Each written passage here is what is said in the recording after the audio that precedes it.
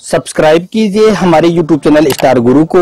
और दोस्तों, इस बेल आइकन को दबाना ना भूलिए, एकदम लेटेस्ट वीडियो सबसे पहले देखने के लिए। दोस्तों, आज के इस वीडियो में हम बात करने वाले हैं अल्लाह की कुदरत के एक ऐसे करिश्मे के बारे में, जिसको देखकर आज सारी दुनिया वाले हैरान और परेशान हैं, और जिसका ज़िक्र कुरान पाक में भी है। तो दोस्तों, आप इस वीडियो को आखिर तक ज़रूर देखिए और मेहरबानी करके अपने दोस्तों में शेयर भी कर दीजिए। तो चलिए दोस्तों, शुरू करते हैं। दोस्तों, अलास्का की खाड़ी दुनिया में एक ऐसी जगह है जहाँ पर अल्लाह की कुदरत के करिश्मे का नज़ारा देखकर हर कोई चौंक जाता है।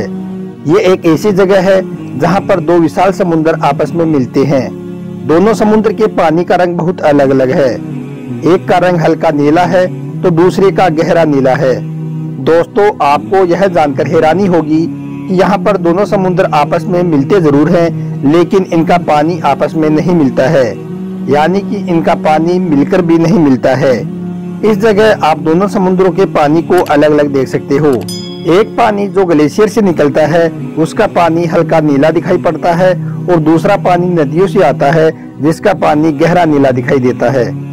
दोस्तों, दिलचस्प बात यह है कि ये दोनों रंगों का पानी एक जगह आने के बाद भी मिक्स नहीं होता है और अपना अलग अलग रंग बनाई हुए ही रखता है। आपको मालूम है कि पानी किसी भी चीज़ का हो, मगर पानी आपस में मिल ही जाता है।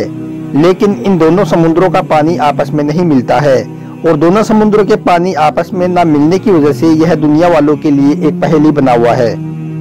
दोस्तों, कुछ दिन पहले एबीपी न्यूज़ चैनल पर भी इस बात का खुलासा हो चुका है। पिछले दिनों सोशल मीडिया पर इस समुद्र की एक वीडियो क्लिप काफ़ी वायरल हुई थी।